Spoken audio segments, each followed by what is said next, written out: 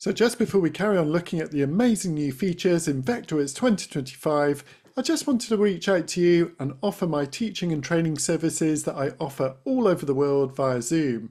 I'm an experienced architect with over 20 years experience, but I've been a Vectorworks user my entire career and I really love teaching people from small practices to individuals, whatever level you currently are. I can help you on 2D, 3D, BIM or various visualization workflows. I also really love teaching Vectorworks in combination with things like Twinmotion, Enscape and D5 Render for 3D visualization. So wherever you are in the world, if you'd like to reach out and improve your Vectorworks skills, please book a call or drop me an email and I'll be very, very pleased to help. I look forward to hearing from you soon.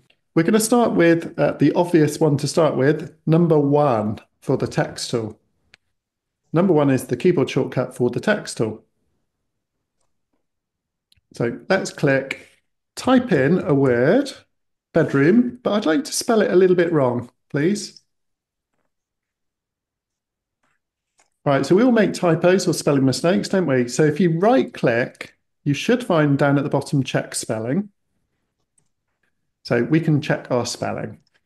By the way, if nothing was selected, okay, if we go to the text menu and go to check spelling, Instead of checking the selected item, it will select the entire document, all the pages, all the design layers everywhere. Absolutely the, the lot. Um, so this is a good one to do before you issue drawings and it will kind of like change. Can you see it's picking up all those spelling mistakes sorted? Yeah, yeah, yeah. The second thing I'd like to say about text is style. Okay, now this is quite important because it points to much, much bigger, bigger picture items in Vectorworks. So I always cover this at the beginning. So now we're going to do the same thing again. Click number one. That's our text tool. Now we're going to actually pay attention to the mode bar, which we didn't before. And up here, you can see there's a little couple of options here. Angled text, straight text, fine. But there's one, most importantly, called text style. So let's drop down to new. All right, and this will allow us to create a brand new text style. So let's call this uh, room names let's say I'm going to use trebuchet, so I'll type in TRE and it will kind of filter to trebuchet for me. Let's make it a bit bigger. So it's 18 point, let's bold. And because it's a room name, it's going to sit in the center of my room. So I want the alignment to be centered. You can see it's nice because it's typing from the and what you will notice now, if you look at the text, is over in the object info on the right side is something called text style. Ah, suddenly you notice it. Right, so you can change that text style to a different text style if you wanted, and it will change the font and the size of text. Right, so now let's let's look at the benefit of text style. Yeah. So to do this then, we need to introduce another panel, Command R. Command R is this one here, it's resources. It's a very important part of Vector. It's the resource manager, it's called, Command R. And the very first time you bring this up, guys, it might not look like mine. So let, let's just do this together. So what I'd like you to do is, is make the size, make it size appropriate. It's no good having it too small. Doesn't work. It's got to be quite large. And in an ideal world, you just really want have it large enough so that you can actually see all of the buttons and the search dialog. The second thing you can do is fiddle around with these panels Okay, so you can see there's these little panels that might be hidden that you can kind of resize.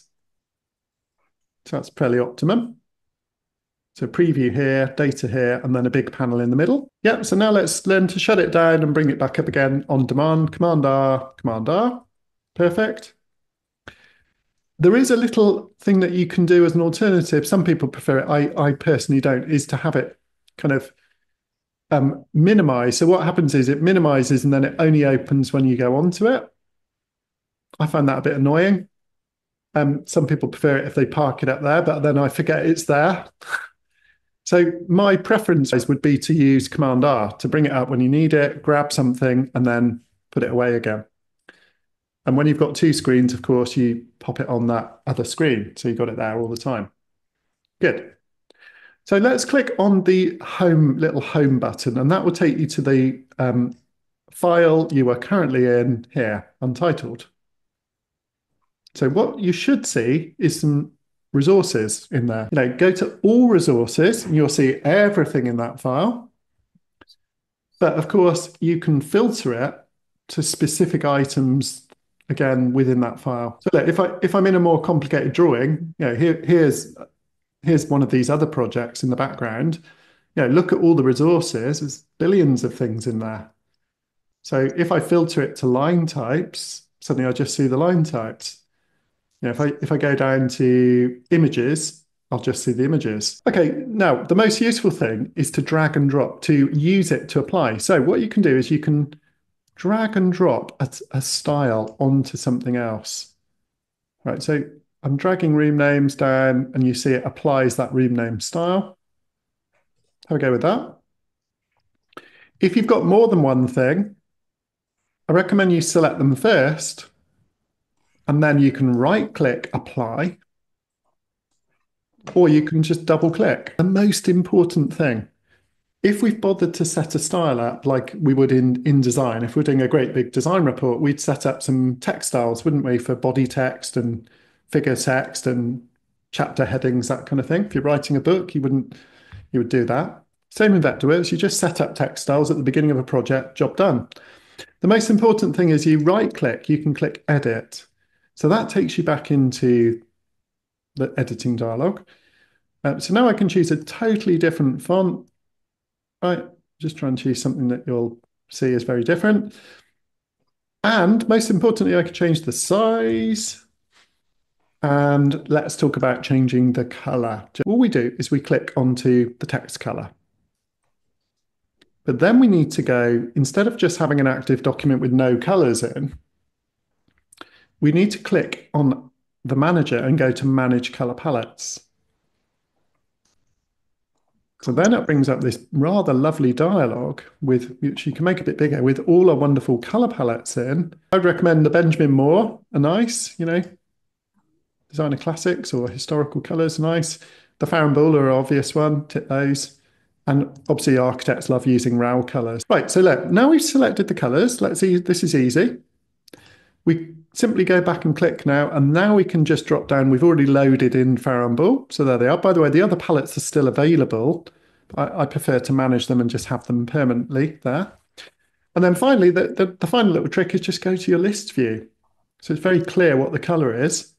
Know, grid view or list view, and once you get familiar with certain colors, like I know that 14 is my Barrington blue there, can you see? So I can search for specific colors. And the most important thing is I've I've edited the style, so that is a global change through my 30 sheets of Vectorworks that I've set up. So the lesson here is if you take a few moments longer at the beginning of a project, when you're starting to set things up, to set things up properly with style, you can do hatch styles, line styles, wall styles, windows and door styles. You can do any style. If you set those up, then it makes it a dream to edit the project later. And on your next project, you can make the drawing look similar to the last project. Consistency. Within a team, you can all be consistent. Quite an important lesson, I think, for every practice. If you if you were to put it into your template and set, and resave the template would already be there. Mm. Okay. If I fire up a brand new document, of course, in, in this document, I haven't got any text styles or styles of anything. However, at least if I had another drawing with those styles in, I can simply right click and click import. So I can just easily import them from another document. Mm-hmm. But even, even better if they're just already in the template. In an ideal world, if you do Command N, what you really should be doing is pulling in an actual drawing template. I'll just show you mine very briefly. So, you know, what a drawing template consists of is some some sheet layers with some title blocks on, you know, ready to ready to make drawings. And, and in my file, I've already pre-named them all because most planning applications have the similar type of drawing. Yes, I might tweak the names, but I've also got, um, you know, within that file, I've got some different paper sizes.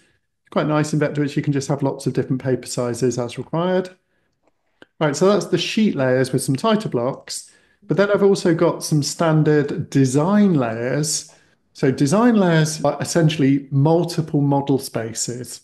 So in Vectorworks, we have a design layer, which is a model space at a scale, but you can have an unlimited number of these model spaces.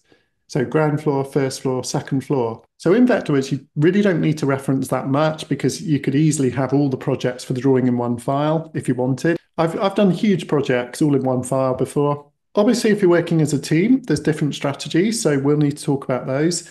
But the most important thing is each design layer is its own set of goodies. And what you can see is I also have a layer called graphic standards.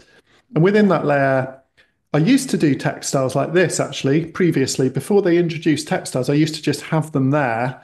And then what I would do is, you know, I would use the my eyedropper tool to match. That's what I used to do, but I don't need to do that now because I've already got text styles in there. You can basically just create those new text styles um, from from the dialog and put them in the template. But you can also standardize lots of other things like, you know, little graphics and things like that. Sorry, I've got a couple of different layers with with some detailing, depending on what I'm doing, you know, maybe some scale bars, that kind of thing.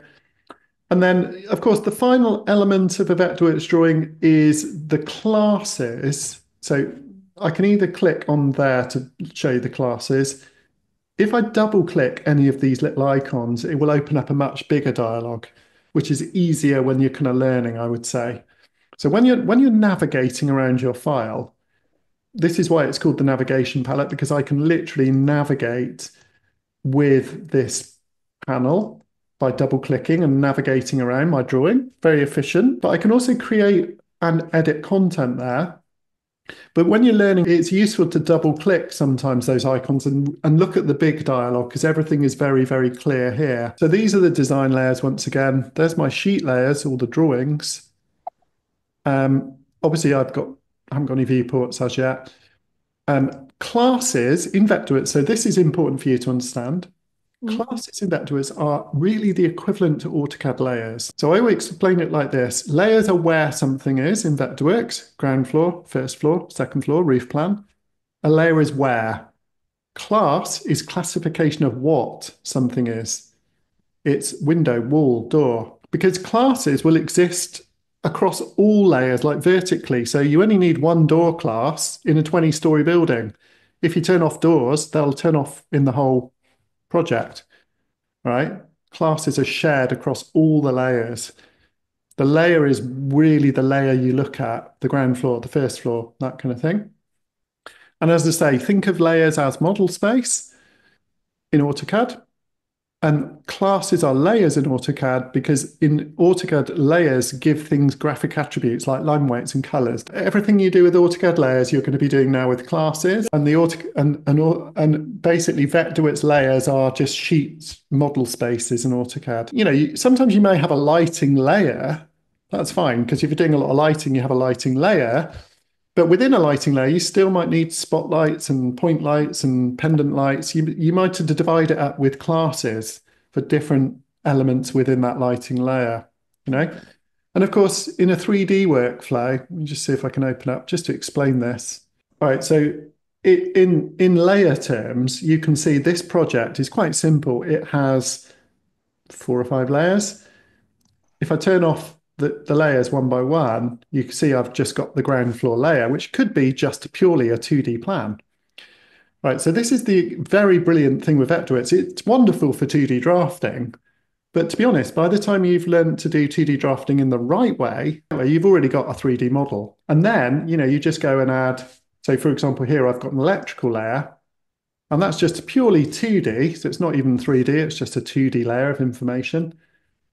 And then if I click my 3D first floor, you can see it's a 3D layer. And there's my couple of roof layers. So I've just divided my model up into three-dimensional and two-dimensional layers. The advantage of working as a model is that when you go to your presentation, you can really coordinate all the drawings you need from that presentation and the, the, the elevations and the sections and all those things just are derived from the model it's just a, a, really unbeatable approach. There is maybe this is for the future to whet your appetite about how, how good this feature is. There is a command here called create interior elevation viewports. And if I just basically drop one of those into that room, it will generate all the drawings for me. And the brilliant thing is, if you then amend the model, these will update. Of course, these I can go and work in the elevation and delete that window I can even, it's quite cool. I can even resize sort of windows. Let's, let's move that sofa back a bit. All right, so now, so now I've updated that elevation essentially in the model. And of course the drawing's updated, but if I go back to my model now, you'll see the sofa's moved and that window got deleted. If you're doing manual drafting, 2D drafting, everything is manually coordinated, as you will know. You've got to drop yeah. lines down, you've got to make the window the right size. If there's an error, you may may or may not spot it. But this is, in a way, this is this is sort of just really. I'm not trying to train you on this today, or even sort of convert you to this technique, but I, it is important for you to understand this is where architecture and interior design is is going or been. I'd say for many practices. Yeah. And it has many advantages in that, if I wanted to, I could do you know, go through and, and cut a nice sort of section. Vectorworks is amazing for this. So let, I can basically generate a coordinated section in a second or two, super quick. And I could then drag off another copy of that section. You can't beat the workflow. I could click reverse direction. I could even do perspective and I can click update you know, you can get a really nice sort of set of coordinated drawings. Anyway, time for the future to get you excited. And I'd love to work with any practice. I do most of my time is spent doing exactly this.